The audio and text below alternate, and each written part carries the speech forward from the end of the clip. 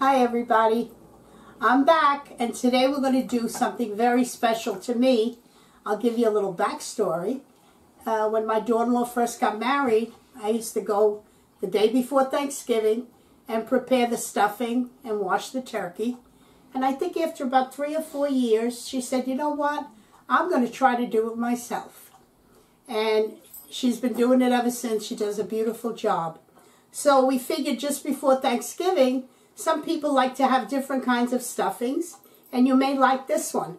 So we're going to show you how it's done. It's very simple. We put everything in the food processor.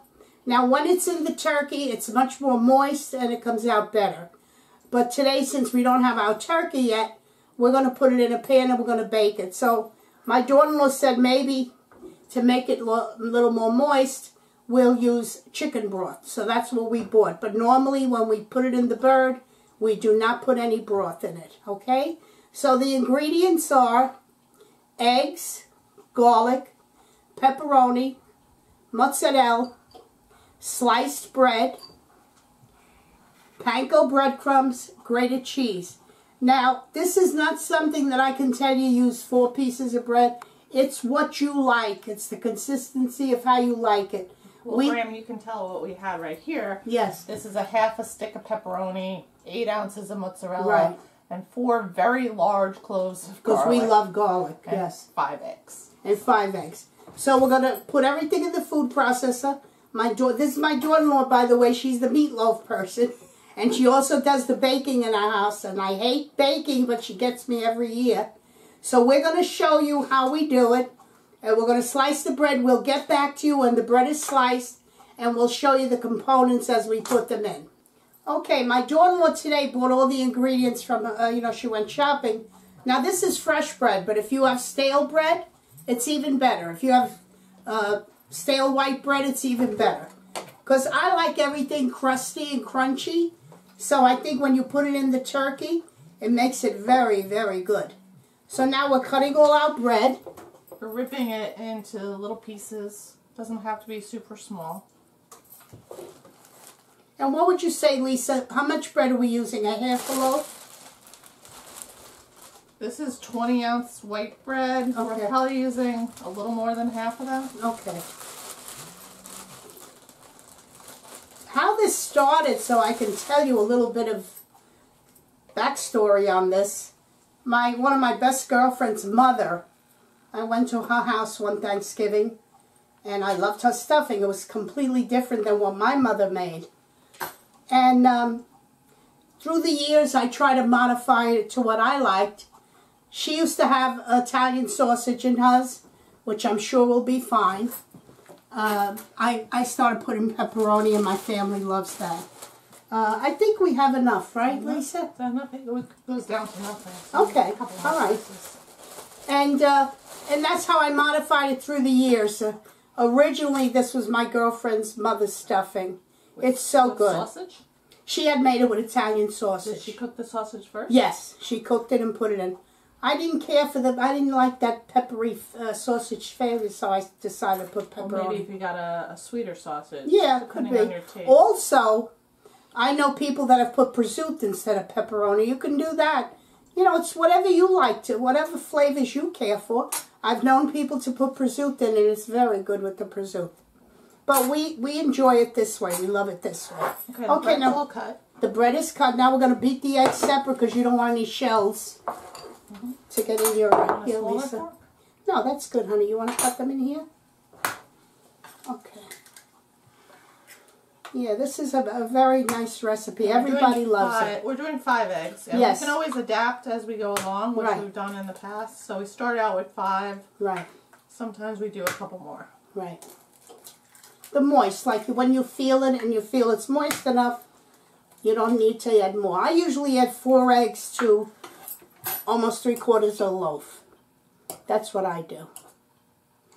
Okay.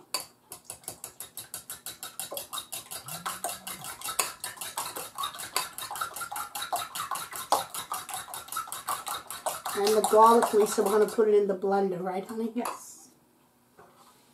Okay, so we're going to add in the blender, we're going to put our mutts, our pepperoni, and our garlic, and the grated cheese is already grated.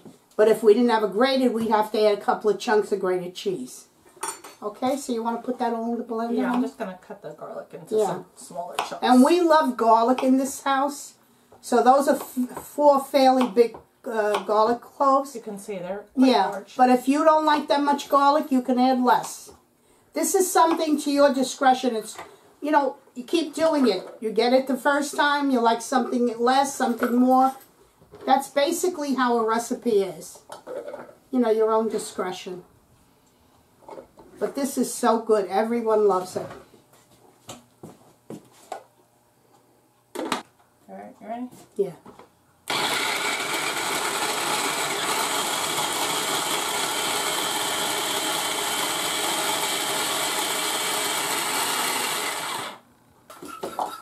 So you can see it's pretty finely ground. You want a spoon, Lisa?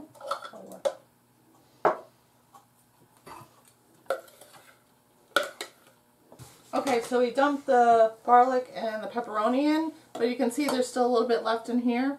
So the way we get rid of that is we put a couple extra slices of bread in here. And we mix it one more time, and it gets the last little bits I can smell it. I can smell. You smell it, Lisa? Mhm. That's such a good smell.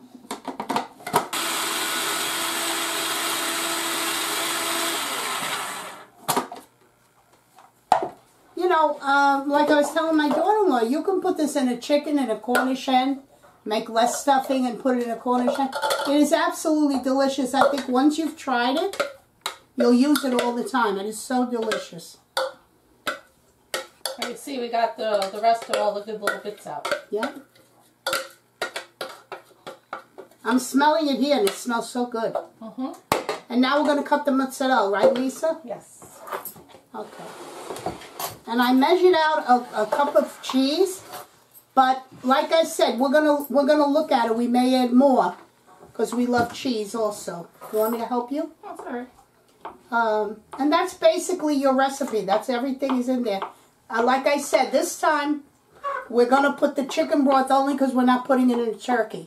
And also we're gonna add some panko breadcrumbs to get that little bit of crisp edge on it. And I'm cutting these into like quarter inch or even less size pieces.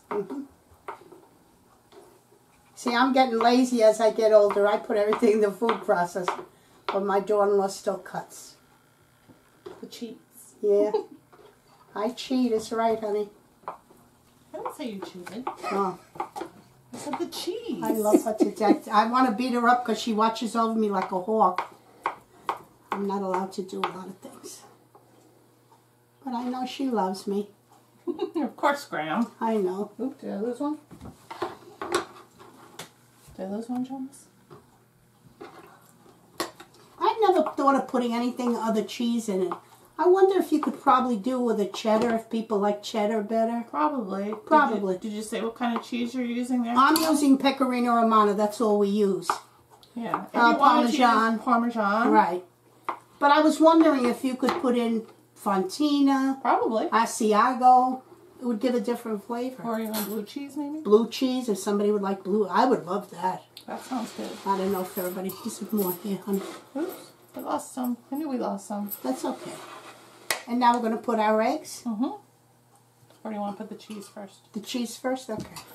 So Okay. this is about a cup of cheese. Well, uh, after we mix it and get everything, we might add some more. Yeah, we're all cheese lovers. Then we should have got even the bigger dish, right? I know. All right. Go ahead. Okay.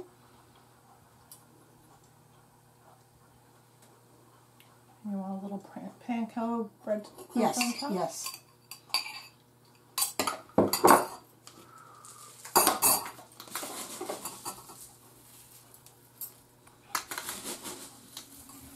I think Jonas, it's time for him to get in. What do you think, Lisa? So that's probably like three or four good handfuls of panko. hmm Here's my grandson who's never left me. Okay? These are all, you know, extras, but this is my main man. Okay, honey, you gonna mix it now? Okay?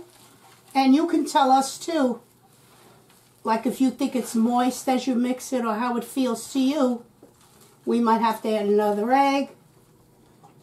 Jonas has been helping me for years and years mix all this together, so he should know by now. Yeah. Yeah, this is so you don't want it too dry, but you don't want it wet either. And how it comes out of the um, the turkey, it comes out almost like a bread, and you slice it. It's absolutely delicious. How's it looking, Jonas? I think it looks good. Um, uh, let's see. I need to mix it a little bit more. Yeah. Let me hold that for you. Alright. You smell, you smell it? It smells really good. Yeah. He loves it too. Do you think we need any more eggs? I don't think so. I think it's okay, right? I haven't done this in a while, but Because you know why we're going to put the broth. if it turns if it turns into like a ball, is it good? Yeah, that's fine. That's perfect, honey. Yeah, and now we're gonna, like I said, we don't normally do this, but because we're not putting it in the turkey, my daughter-in-law thought to put the chicken broth in it. Just keeps it a little moist. Yeah. Okay, honey, we're gonna put it in that bowl. And, you know, flatten it out. That's it. Trying to make Now, what size turkey are you getting this year, Lisa? I usually get an 18 or 20 18, pounder. yeah. I usually get a 12 pound. I never got to a big turkey, but she gets a big turkey. This amount of stuffing is actually too much to fit in the bird, right? You usually have extra that you make separately. Uh, this is probably just enough to fit in the bird. This Right. time, huh? I usually make extra. Right. Okay. Okay, thank you. So what we're gonna do is just pour a little bit on top just to keep it a little moist. See, it's not even a lot. It's just a little bit, just to keep it moist. And what's the oven at, Lisa? 375? 375, probably 30, 45 minutes. I would say somewhere. 30, yeah, 35 minutes. So yeah. you can see the bread soaked it right up. So Want to put more? Need a little extra. And I hope you try it. You know, it may not be Thanksgiving. You don't want to start Thanksgiving. You don't know if you're going to like it. But I would love your feedback because this is something we've been doing for years. And I hope you like it and I hope you enjoy it. And please give me some feedback. And if you love my channel, please subscribe.